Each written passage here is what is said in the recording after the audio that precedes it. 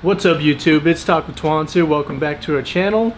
Today we're going to be working on our 2020 Tacoma and we're going to be installing the uh, MOLLE rack here made by uh, Cali Raised. So as you can see we have the full system here installed. So one of the best things about this MOLLE rack system is that you can uh, mount all of your uh, accessories, all your camping accessories, overlanding accessories onto the sides here very securely without um, having to just throw it into the truck bed and having it slide all around. And uh, on top of that, if you mount all of your accessories on the sides here, you have a lot more room on your actual bed to uh, accommodate for all of your other accessories that you need for um, camping or overlanding. And um, we have a Rotopax mounted on there just to show you guys um, like a mounting point what you put on there but you can also put your um, recovery gear in here. You can put like your axe um, even your uh, Hi-Lift and you can mount all of that onto this uh, MOLLE rack system very securely. So that's one of the reasons why we really like it and um, we're going to show you guys how to uh, install this now. Today we are going to be installing the MOLLE system on the 2020 uh, Tacoma here. So uh, these are made by Cali Raised and uh, we have two parts for this. So one is going to be the it's going to be uh, against the cab and then the other two pieces are going to be for the side of the bed rack but for now we're going to start with the uh, one that goes against the cab here. So uh, it'll have like the wheel bulge cut out so you'll know it's for the um, back of the cab there so if you look at these two pieces one of them has like a slant in the middle and that slant piece is going to sit on top of the other piece so that you can have a uh, flush feel to it from the front side. So this will be the back side here.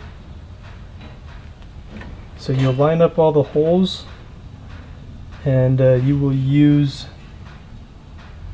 the top, very top, very center, and the very bottom hole here. So here is all the hardware that comes for just the piece that goes against the cab here. You got some uh, long skinny bolts over here, you got some washers, you got bigger washers, spacers, and you got some uh, short bolts, and then you got your nuts over here, and then you got two of these brackets that will uh, sit on the two bed bolts. Alright, so here's what we're gonna do. Gonna grab three of these guys and uh, three washers. We're gonna need six, but we're gonna put in three of them first, like so. We need uh, three of these guys. So this is what you're gonna do first. You're gonna come from the um, bottom side up because the other side is the uh, front. So just lift it a little bit like this, slide it up like that, put another washer in there, and then your locking nut. So it's going to be the very bottom, middle, and the very top hole.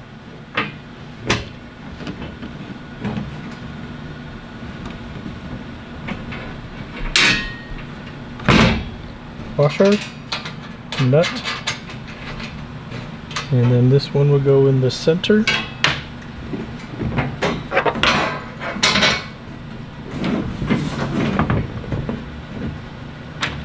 Washer, nut. And then we'll go ahead and tighten these up first and then we'll flip it over to get these two uh, brackets in. Alright, so we have it on the tailgate here. I'm just to push it to the side a little bit. The, uh, the other side is going to be an Allen wrench that you want to hold down and then just tighten it with the 13.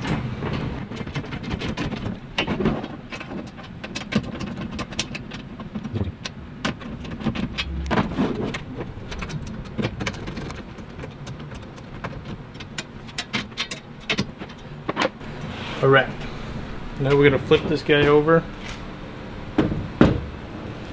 So this will be your front. So So those bolts are going to be uh, more uh, flush rather than the other end with the bolt sticking out. So these two holes at the bottom here, we're going to be putting this guy in here, like so. So the way it sits, it'll sit like this against the cap. And these guys, this hole here is going to be your new uh, mounting hole for your bed bolt. So you'll take those two bolts out and it's going to now go through this. So we'll put these guys in.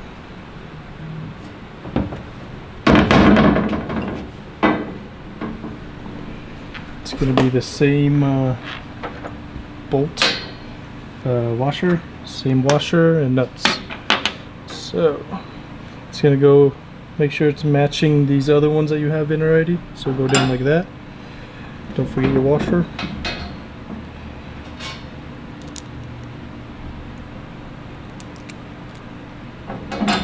and then washer on the other end and then your nut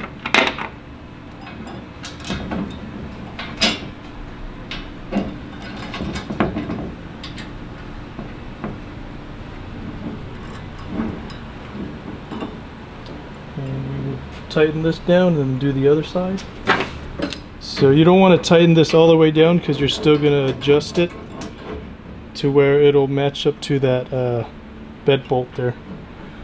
And uh, to the other side.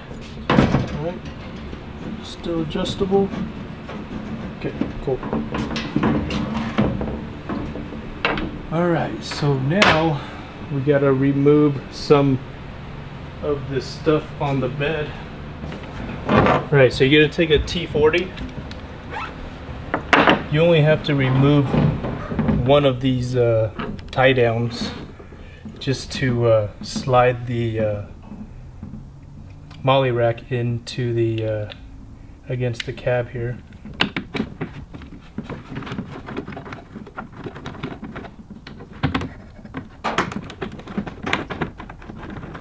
After you've got that uh, tie down removed, use your T30. We're going to remove these five bolts here.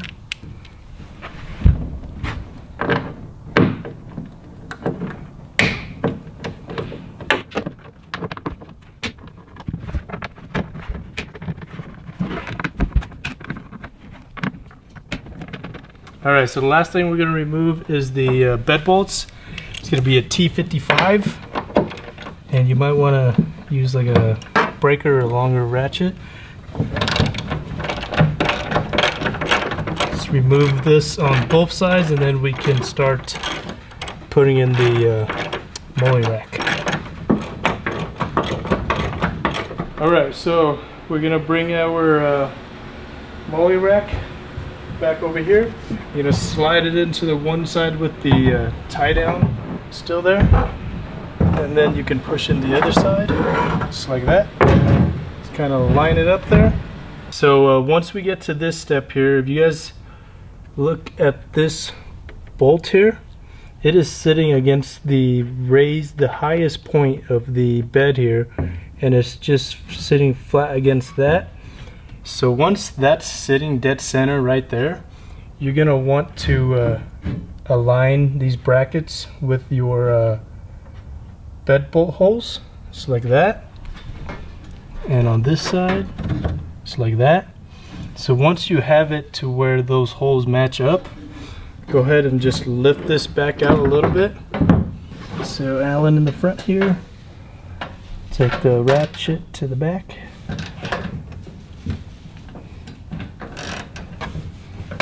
and just tighten it down. It should have been like kind of tightened already from when we assembled it. You just want it to be a little bit loose to where you could adjust this still. Now we're gonna go to the other side. The same thing. All right, so once we have these two bolts for the brackets tightened down, you can now align this rack to the back of the cab again and this time we're gonna align these five holes with the five holes that are on the bed itself once you've got that all lined up we're we're gonna use these um, long bolts.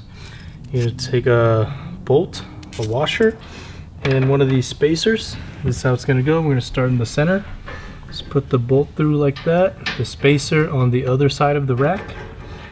And once you get it lined up with the hole there, for the first one, you're gonna wanna lift up the rack a little bit just to loosen the tension. And then you can start to hand tighten that a little bit. And then now you can just do the rest of them here the same exact way. Bolt spacer, washer, bolt washer, and spacer. And just get a couple turns. And we're gonna do that to all five of them before we start tightening down. So we're gonna take these uh, bed bolts, slide them in there, could start to uh, just hand tighten this down as much as you can.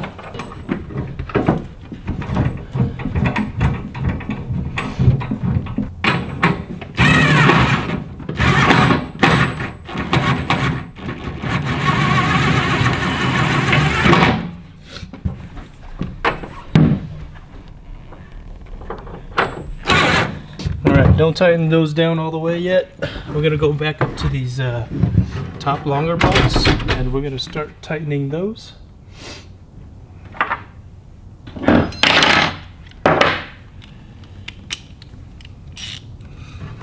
So I'm just going to take some tension off of it by lifting it a little bit make it a lot easier.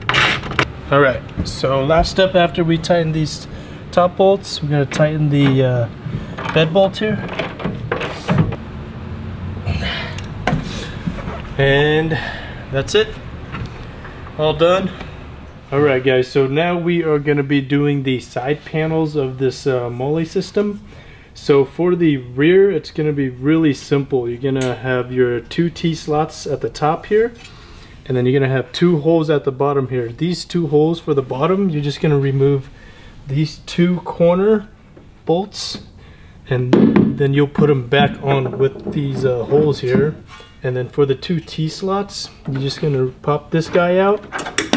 You will slide in two T-slots into here like so. And you're gonna put them on the same position as these two slots. And then you uh, put a washer into this bolt here. And then you just attach it to the T-slot like that. And that's it for the, uh, if you just do the uh, rear side panel. But today's video, we're gonna do the uh, full installation for you guys to see. For the full installation of the side panels on this MOLLE system, uh, we're gonna have two of these uh, side panels and the easiest way to pair them up is um, look for the uh, bend which is this piece here where it bends down and then grab another piece the other front piece that will have the same bend. If you have one of these with the bend on this side it won't work because you're gonna have two screws here that need to go into each other. And uh, for the full system that's actually to be the first step you do is attaching these two side panels first before you get installing onto the bed itself. So that's what we're gonna do. So for the hardware, we're gonna have three rubber bumpers here, and then you'll have the uh, small bolts that go into these bumpers with some uh, washers and uh, nuts. And then over here, these are for connecting the two side panels together. You have two bolts with uh, two nuts and four washers. And then for the T-slots, you're gonna have three sets of those, three bolts and three washers as well. All right, so step one, we are gonna put line these up, make sure it's the uh, same side. And then the hardware for it, it's gonna be bolt washer, And then uh, let's flip this over so we can actually do it.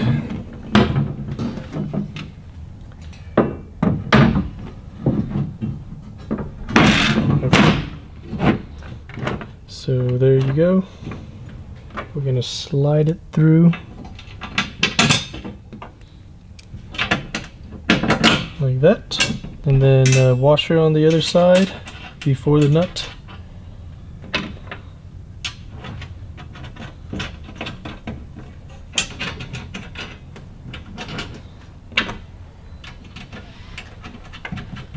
Like that and then we will tighten that down. So just hold the nut down with an 11 uh, millimeter wrench on one side and then the other side is going to be an Allen wrench. Alright, so for the uh, front side panel, it comes with these rubber bumpers and uh, the hardware that comes with it. So what these are going to look like, they're going to be sitting on the uh, back side, so like that.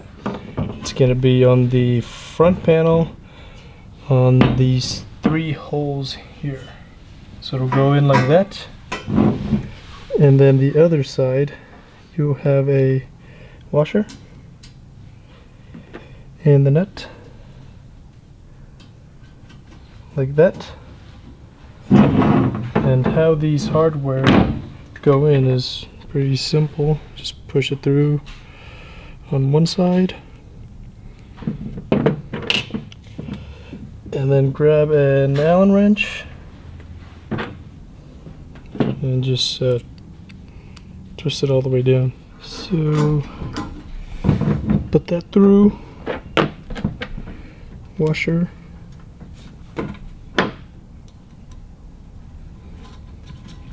Alright, so same thing, we're going to hold one side where the nut is, and then the other side you can uh, use your Allen wrench and tighten it, or the other way around. Alright guys, so after you guys tighten these down, just remember that these are rubber, so they're not gonna you're not gonna feel like a whole lot of tension when you're tightening it down. Just make sure they're uh, snug enough to where it's not moving anymore, and that should be good. So for your tie downs, you want to, um, if you want to use them, still, just put this up against the truck and see where it can sit. So like it can sit over here, here, here or even out on the edge here. So we'll just leave them like in the middle here. Alright, so once you figure out where you want your uh, tie downs to be, I'm going to slide in the uh, T-slots. You're going to need uh, three of these. And these are going to go where these slots are. So we're going to slide them down to approximately where they're going to be sitting at and we'll line them up again later.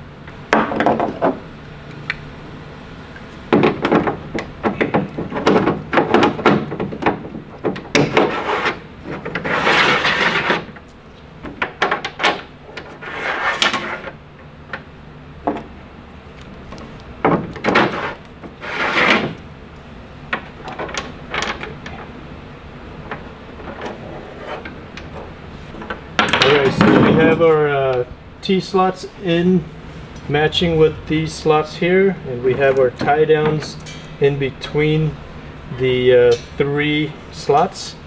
So now we can just line it up and then we will put the uh, bolt in that holds them in place along with the washers. Alright so once we've got everything lined up here we're gonna remove these two corner bolts from this uh, cubby and we will reuse these bolts for these holes down here on the uh, panels.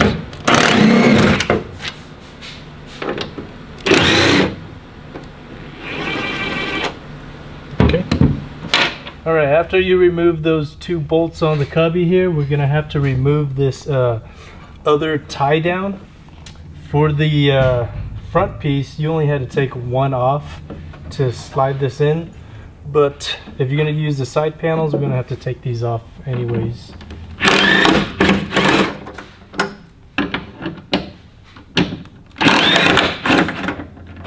And now if you guys are using your um, tie downs here what you're going to want to do is you're going to want to slide this underneath the tie down first so it doesn't sit on top of it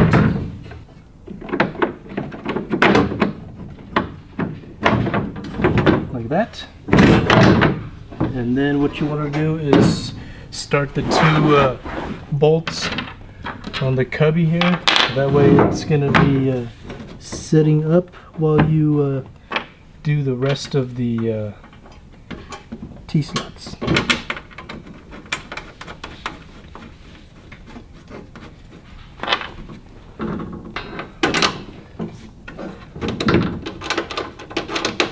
For the T-slots, you're going to grab your bolt and washer and line up the uh, T-slot there with the slot on the panel and just start it by hand. Once you catch it, it'll be good.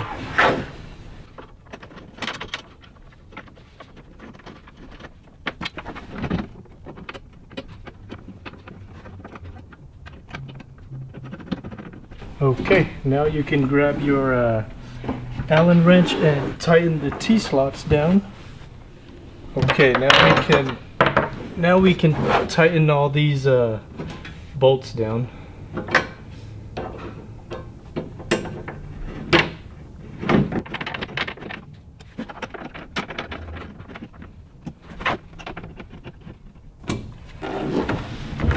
And don't forget the two cubby And uh, this way you can still use your uh, tie downs here. And then just put on this plastic piece cap. There you go. You have your uh, side panel MOLLE system. So for your driver side panel here, um, the 2020 does not have a cubby. Therefore you will have the two bolts over here for these two holes. So uh, pretty much uh, it's going to be holding on to the top uh, T-slots here and um, what you can do is either just leave it like that held on by just the top T-slots and leave the bottom just hanging there. Or the another option you can do is um, you can uh, add your own uh, nutserts which look like these here. So pretty much you're gonna drill your own holes over here that will have these nut nutserts and then you can put your own bolt into it and have it more sturdy but um, for this video we're just gonna have it hanging on just the uh, T-slots. Okay so we've got the driver side panel all tightened down now with the uh, T-slots and as you can see back here there's no cubby so you don't have um, mounting points down here. So this is tightened down all the way and that's all the um, flex you're gonna get out of it without those two mounting points down at the bottom. So it's still really sturdy. So if you um, feel like you need two more, then go ahead and do those nutserts, but this is perfectly fine for us. So um, that's the complete uh, MOLLE system install front and the side panels. And we also, uh, while we were back here, we put on a um, Rotopax mount and we are going to mount this uh, Rotopax on here.